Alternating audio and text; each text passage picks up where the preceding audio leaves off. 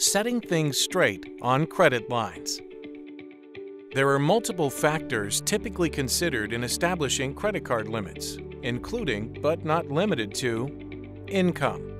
The more you earn, the more likely you may be to pay back what you owe. Credit reports and credit scores. Payment history. How much credit you already have and utilize. How many hard inquiries you have, and more may be taken into consideration other credit lines you have. Creditors may consider the limits you currently have on other accounts in establishing your credit line. Your debt to income ratio.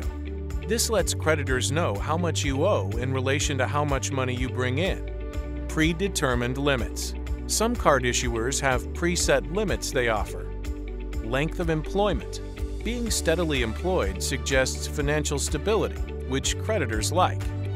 No matter what your credit line, you may eventually want a credit line increase. There are two ways to get a credit line increase. You may be offered one, or you may request one.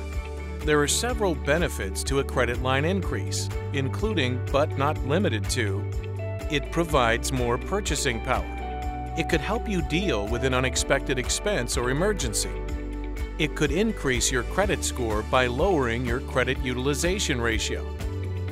It could help you get additional credit by making you look more attractive to potential lenders.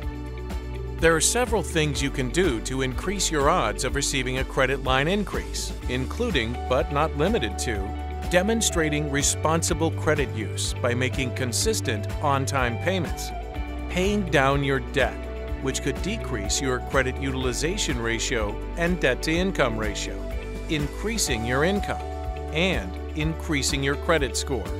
But ultimately, the criteria and methodology used to set and increase credit lines are up to your credit card issuer.